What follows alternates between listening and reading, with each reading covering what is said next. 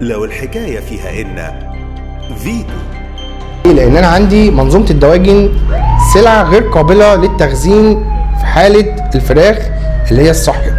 مش بالنسبة للفراخ المجمده أنا بتكلم على الفراخ الصحية. لأن أنا عندي النهارده أنا أنا أنا المنتج بتاع النهارده أنا بنتج قد إيه؟ على المستوى المحلي. ما بنتجش النهارده آه، 25 30% والباقي كله بستورده. ولاحظنا يمكن في الأونة الأخيرة ان آه، في بعض إحنا طبعا بنستورد طبعا من البرازيل طبعا ولكن آه، في عندنا حصل عوار في الفترة الأخيرة وقدرنا إن إحنا برضو نتدخل ونقول برضو لأ إن في كارثة بالنسبة للمجازر اللي موجوده في البرازيل.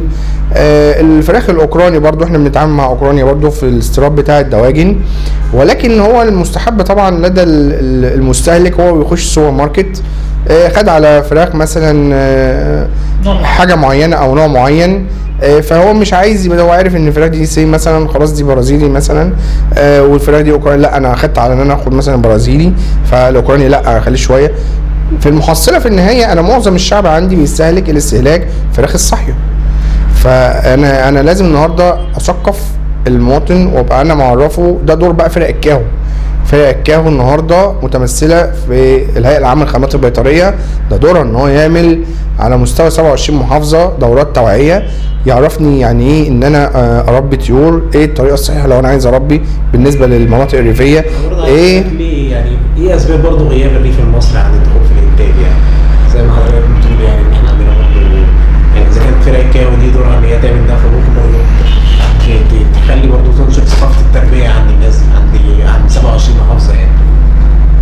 ما هو تنشر الثقافة دي بناء على إن لازم تراجعنا يعني قصدي برضه إن إحنا تراجعنا في الفترة الأخيرة عن الانتاج ده هل أزمة اللي هي 2006 دي كان ليها دور يعني؟ طبعاً. في الفترة اللي هي بتاعت انتشار انفلونزا للطيور طبعا في حصل طبعا بعض الجدود طبعا حصل منها نوع من الانعدام التام من على الساحة الجدود ال ال الأصل يعني.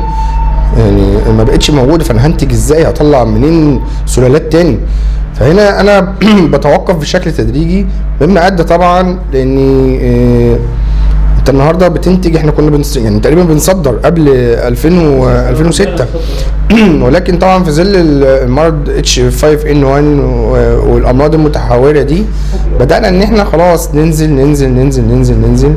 فكان يجب إن في الحالة دي تتدخل الهيئه العامه للخدمات البيطريه متمثله في فرق الكاهو إن هي تعرفني النهارده كمربي إيه آه، اربي إزاي آه، طريقة الذبح اللي أنا بشوفها دي آه، صح ولا غلط؟ آه، اتعامل إزاي في حالة وجود مرض انفلونزا الطيور أو اي اعراض بتظهر إزاي ان أنا اكتشفها؟ آه، ده طبعا متمثل زي ما أنا قلت في الهيئة العامة للخدمات البيطرية ودور فرق الكاهو